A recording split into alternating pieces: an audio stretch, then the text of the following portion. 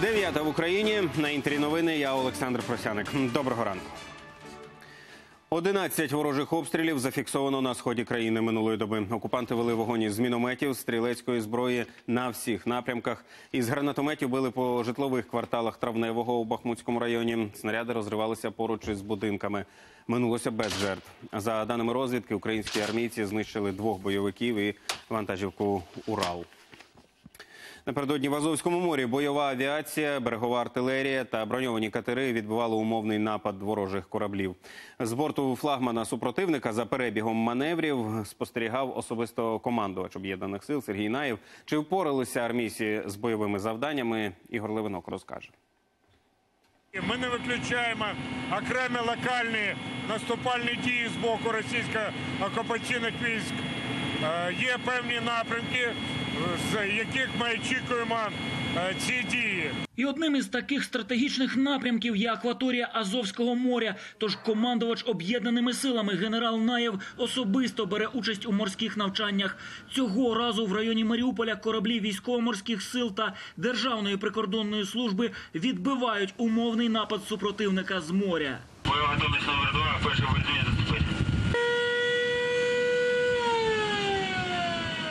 За легендою маневрів, судно, на якому присутній командувач об'єднаними силами, є флагманом ворожої ескадри. Попри обмежену видимість на морі, броньовані катери військово-морських сил мають оточити супротивника і завдати удару.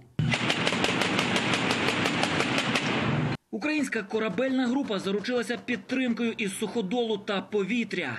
Для відбиття удару напада викликалася авіація, застосовувалась артилерія берегова, а також застосовувалися малі артилерійські броньовані катери. До об'єктивів телекамер потрапляють не всі елементи навчань. Ворог не має знати, як і звідки отримає прочухана. Командувач об'єднаними силами Сергій Наєв перебігом навчань задоволений. Ми е, постійно контролюємо ситуацію як за допомогою радіолокаційних засобів, так і безпосередньо з бортів кораблів, які здійснюють патрулювання акваторії Азовського моря в межах е, операції об'єднаних сил. Також е, те, що кораблі наші постійно в готовності підтримати авіація за викликом, а також за викликом е, артилерія. Корабельна група повертається з відкритого моря. Туман над водою дедалі густіший. А отже, екіпажі суден заступають на посилене бойове чергування вздовж українського узбережжя. Із Приазов'я Ігор Левинок, Вадим Ревун, Ігор Щепет. Новини телеканал Інтер. Окупанти у Криму забруднюють Чорне море. У прокуратурі півострова повідомили, що після анексії на дамбі Нижньочорбаського водосховища у Керчі почали незаконно видобувати пісок. Бруд від його промивання потрапляє на міський пляж, а токсичні речовини до моря, де створюють загрозу для людей і довкілля. У прокуратурі Криму відкрили кримінальне провадження за статтею порушення правил охорони або використання надр. Уже за тиждень США можуть оголосити, що від терористичного угруповання Ісламська держава звільнено 100% території Сирії. Про це Дональд Трамп сказав учасникам засідання глобальної коаліції в Вашингтоні, на якому зібралися міністри закордонних справ майже 80 країн. США створили цю коаліцію 4 роки тому. Тепер, коли американські війська готуються покинути Сирію. У Вашингтоні пропонують другий етап кампанії сконцентрувати зусилля на знищенні мережі іділ і затриманні терористів, що діють за межами Сирії та Іраку. Серед учасників зустрічі і голова МЗС України Павло Клімкін. що якщо ми не переможемо, то така Україна, про яку ми мріємо, яку ми уявляємо, її не буде. Так сьогодні всі розуміють, що якщо ми не переможемо, світу, як ми його хочемо бачити в майбутньому, не буде. Але насправді. Це ж е, тільки серйозний початок. Серйозний початок боротьби проти цієї перекрученої, перекривленої ідеології, проти тих методів, які використовує, до речі, іділ в інтернеті. І деякі з них методів дуже схожі на те, що Росія використовує. Сьогодні Верховна Рада розгляне зміни до конституції щодо курсу України на членство в ЄС і НАТО. Напередодні депутати зареєстрували проект постанови про звернення до парламентської асамблеї НАТО та держав-членів із закликом ініціювати процедуру отримання Україною членства в альянсі. У документі йдеться це вкрай важливо, зокрема на тлі зростання загрози від Росії, як для європейської, так і для глобальної безпеки. Онуки на годину в Івано-Франківську волонтери взялися рятувати від самотності літніх людей. Для цього запустили спеціальний проект, де кожен охочий може вибрати для себе бабусю чи дідуся з геріатричного центру і стати названим онуком чи онучкою. Єдина умова відвідувати стареньких вони мають регулярно, хоча б раз на тиждень. Чи багато зголосилося, знають мої колеги. Йде, моя Любочка йде, голубушка моя, голубушка, Любочка моя, сонечко моє. 80-річна Яніна Кіндратівна виглядає у вікно свою названу онучку Любу. Дівчина відвідує стареньку у пансіонаті щотижня. Боже, який подарок, це ж наша Любочка, в тебе діти, лялечко, наша. Я вам вітамінів принесла і цукерки. Пані Яна у геріатричному пансіонаті уже четвертий рік. Чоловік та син у жінки померли. Рідні відвідують її раз у 2-3 місяці. Від самотності рятує названа онука Люба. Дівчинка координує проект для стареньких. Каже, бабуся Яна відразу припала їй до душі. Е, Життєва мудрість е, ну, настільки глибока, що вона каже, що я їй допомагаю, насправді вона мені допомагає. Знайти одна одну жінки зуміли завдяки соціальному проекту, який запустили у Івано-Франківську наприкінці минулого року. Для стареньких людей з пансіонату волонтери шукають названих онуків, які можуть регулярно їх відвідувати. Для цього у соціальній мережі створили спеціальну сторінку, куди розмістили історії із фото самотніх дідусів та бабусь. Я Степанич. Живу в будинку для літніх людей. Загалом тут класно. Це знімаю відео для наших друзів. Який ви молодець. А сьогодні хтось приходив? Може, завтра хтось прийде. Вони бомбесі, вони щирі. Вони швидко відгукуються на добро і тепло. Відчувають добро, і відповідно зворотньо онуки відчувають ту дяку за це добро, яке вони роблять. Нині у геріатричному центрі майже дві сотні підопічних. Онуки поки що знайшлися не для всіх. Зголосилися лише два десятки людей. Не втрачає надії обзавестися онучкою і Наталя Михайлівна. Рідних у неї не залишилося. Желательно, щоб була дівчинка, так що в мене всю життя мужчини були, щоб було на душі легше, щоб було з ким пообщатися. Коли ж хтось вирішить стати онучкою чи онуком, тимчасово координатори проекту застерігають. Краще тоді й не починати. Ми орієнтуємо на зустрічі раз в тиждень, е, годину часу. Тобто, фактично для людини це дві час, е, дві години з їхнього життя. Вони мають подарувати цьому проекту і бути в цьому постійним, тому що е, ці люди вони дуже прив'язуються і вже чекають. І ем, це проект для тих, хто готовий взяти відповідальність. Проект, сподіваються його організатори, вдасться започаткувати і у інших містах. На черзі Львів та Київ. Юлія Касян, Жанна Тутчак, Зиновій Автонас. Новини, телеканал Інтер, Івано-Франківськ.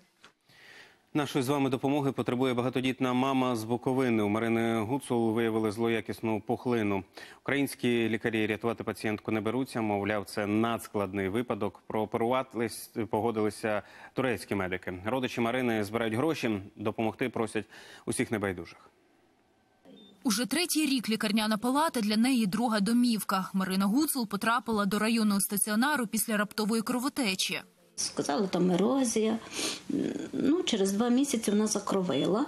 І з великими болями вона знову звернулася до поліклініки, і лікар направила в онко. В онко взяли біопсію, обнаружили, що в неї друга стадія Б, злокачественна опухоль шийки матки. В обласному онкодиспансері Марина пройшла курс хіміотерапії та опромінення. Жінці стало краще, її виписали. Та хвороба повернулася через рік. Знову курс хімії. Та цього разу процедури дали ускладнення на сусідні органи. Це Маріна е, облучалася в онко, і після облучення вони пробилися от такі дирки. Це і в задньому, в задньому проході, і в мочовому. Все. Щодня Марина бореться з нестерпним болем, аби хоч якось полегшити страждання. 26-річну жінку прийняли у Чернівецькій лікарні швидкої допомоги. В урологічному відділенні їй надають підтримувальну терапію. У пацієнтки е, з обох боків е, проведені виведені нефростоми. Це трубочки, по яких витікає сеча, виведена калостома на передню черевну стінку. От, ну, її зараз важкий стан, але зараз стабільний. Це унікальний випадок боротьби за життя, кажуть лікарі. Однак прооперувати Марину не беруться. Допомогти можуть турецькі медики. Пацієнтку очікують уже цієї суботи. Та коштує операція 30 тисяч доларів. Родичі зібрали 10 тисяч і дуже просять допомогти усіх небайдужих, адже у Марини підростає троє маленьких діток. Турецька клініка займається самими тяжкими е, пацієнтами, які е, лікарі відказуються від тих пацієнтів, а вони з ними займаються. Я дуже прошу людей, щоб люди допомогли врятувати Маріну. Це останні в мене надії. Є надія, що зоперую, буде операція. Але втім, все від покажуть МРТ, що вони будуть робити. Я не годна, мама. Я не годна. Ольга Поломарюк, Ігор Ріга, новини телеканал Інтер, Чернівці. Допомогти молодій мамі може кожен. Реквізити зараз на екранах. Їх також можна знайти на сайті подробності.ua у розділі Ми допомагаємо.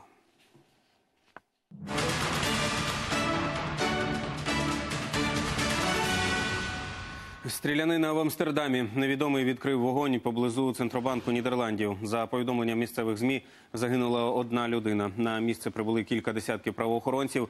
Район оточили, дорожній рух перекрили. Хто саме загинув? Сам зловмисник чи один із поліцейських наразі невідомо.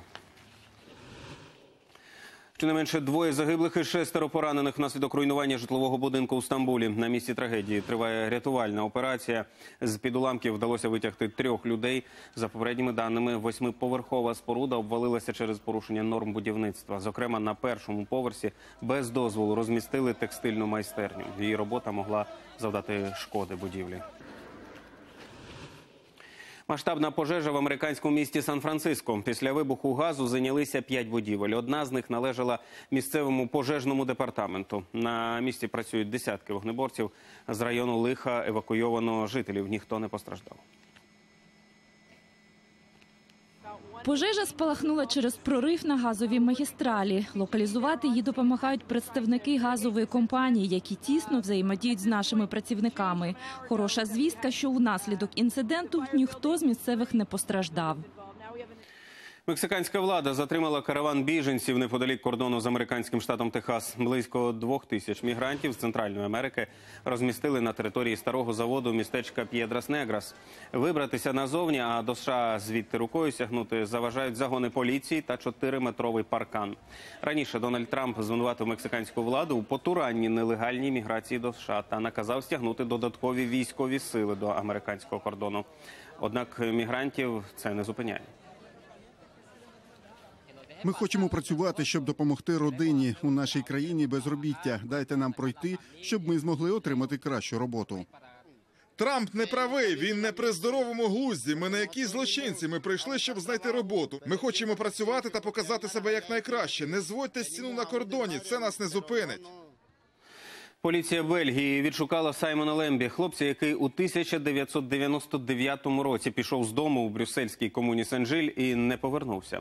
На той момент підліткові було 14. Його матір, біженка з Анголи, припускала, що сина могли викрасти. Але тепер з'ясувалося, що він живе в іншій країні, в іншій родині та під іншим ім'ям, де саме не повідомляють. Поліції сказав, що втік через сімейні негаразди і спілкуватися з батьками не бажає. Екс-президенту Бразилії Лулі да Сілві подовжили термін ув'язнення ще майже на 13 років. Рішення ухвалив окружний суд міста Курітіба, який визнав колишнього голову держави винним у корупції. За даними слідства, да Сілва, який був президентом Бразилії у 2003-2011 роках, дозволив двом будівельним компаніям отримати контракти з державною нафтовою компанією в обмін на ремонтні роботи у його заміському будинку.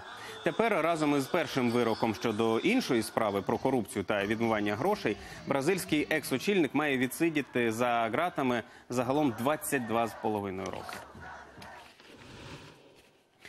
Париж на кілька днів перетворився на столицю ретроавтомобілів. У місті відкрилася традиційна щорічна виставка вантажних авто.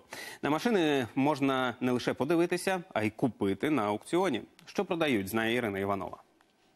Стара добра класика. Автошоу Ретромобіль найбільше у світі зібрання вінтажних машин. Цього року на виставці понад 600 автомобілів та мотоциклів. Наполірована до блиску техніка займає площу 70 тисяч квадратних метрів. Уже традиційним для показу стали аукціони. Цього року їх буде два. Один із найцінніших лотів довоєнна модель Альфа Ромео. Цей автомобіль найкращий у світі серед випущених до Другої світової. Це Альфа Ромео з восьмициліндровим двигуном, подвійним компресором. Це один із найбільш потужних моторів 180 кінських сил. Розганяється до 200 км на годину, що неймовірно як для автомобіля 1939 року. Оціночна вартість цієї красуні коливається від 16 до 22 мільйонів доларів. Саме довкола неї крутиться найбільше закордонних колекціонерів. Зараз машину продає архітектор з Нідерландів. Новий власник може стати п'ятим в історії цього шедевру італійського автопрому. Я відвідую цю виставку вже 20 років. Люблю авто, їхню історію. У кожній країні виготовляють свій вид машин. Тож автомобіль допомагає пізнати культуру країни, її особливості. Італійці одні, німці інші, французи ще інакші. І в автівках це можна розгледіти. Ще одна цікавинка: аукціон декоративних авто. Усі гроші від продажу віддадуть фонду ЮНІСЕФ. Ця машина Формули 1 зроблена компанією Рено із понад 300 тисяч кубиків Лего. Її продаватимуть у неділю. Приблизна вартість від 30 до 50 тисяч євро. Іграшковий болід може стати цікавою декорацією. Це вже 44-та за ліком виставка ретромобілів. Вона триватиме до кінця тижня. Щороку автошоу збирає понад 100 тисяч відвідувачів. Ірина Іванова, новини телеканал Інтер. Величезна піщана хмара повисла над полями неподалік австралійського міста Керанг. Завіса з пилу простяглася на кілька десятків кілометрів. Метеорологи попереджають, пориви вітру можуть уже невдовзі пригнати піщану бурю до населених пунктів. Місцевих жителів закликають підготуватися, щільно позачиняти всі вікна і двері, доки стихія не відступить.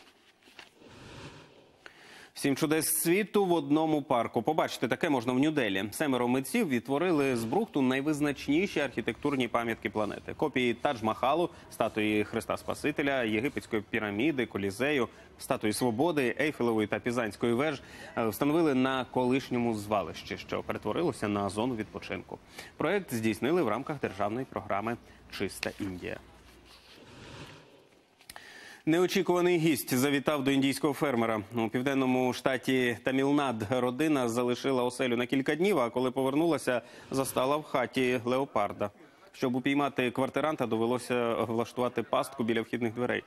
На думку рятувальників, хижак потрапив у спорожнілу оселю крізь невелику щілину під дахом і оселився там. Леопард забрів на ферму з джунглів. Ну туди його власне і повернули. Як розвиватимуться події вже у півдні, розкаже Ольга Торнер. Ну, А у мене поки що все. Гарного вам дня і до зустрічі завтра зранку.